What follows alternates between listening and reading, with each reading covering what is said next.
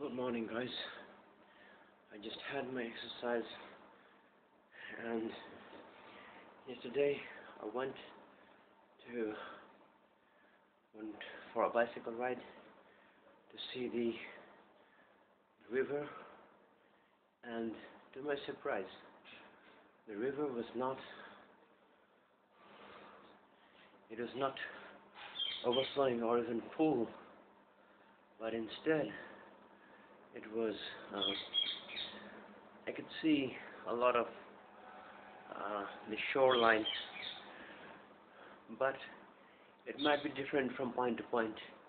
It is possible that the part where I saw it the main part where it the major uh, junction where uh, you can get the river from the cities maybe in that part the river was dug quite deep and the water flow was spanned much less horizontally. So, yeah, and the road was quite potholed,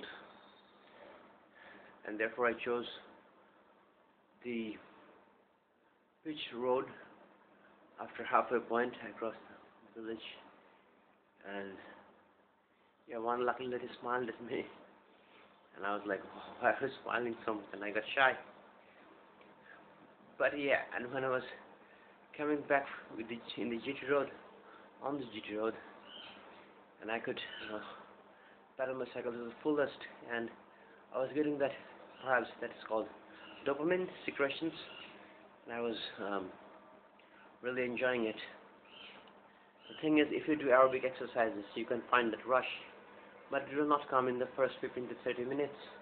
It will come later than that, and it's really a wonderful feeling, and it also kills stress and other problems, as far as I've heard. And uh, and yeah, so it was um, a nice day. And mind you, Finland also told us that she has and YouTube account. I'll check it out.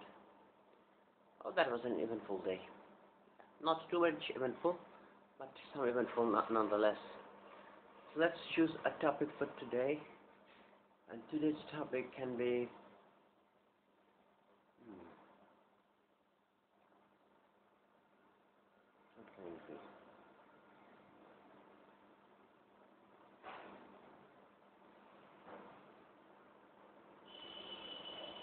Oh, I'm running out of topics.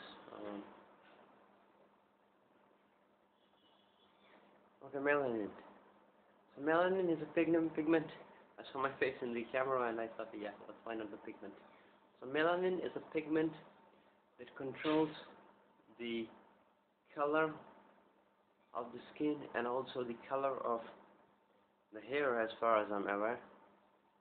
And this pigment is secreted in uh, different differing amounts among people. So people who live in a cold climate with a low sun cover have lower lower amount of melanin in the skin and they appear more white. And people who live in regions where there is more sunlight they tend to have a darker skin tone. This is said to be an evolutionary adaptation to UV light in the sun in this in the sunlight UV portion of the sunlight. So the thing is we need a little amount of UV to synthesize vitamin D which is very important for our body. But if we have too much of this ultraviolet rays then it can cause skin skin cancer and other sort of diseases. So evolution favored it in such a way that people get the right amount.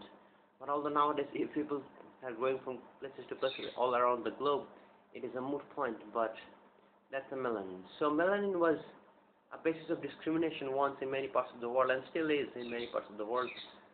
But uh, I think we have gone deeper in the context of color in this regard. So, yeah, both scientifically and in culturally. So, thank you for listening.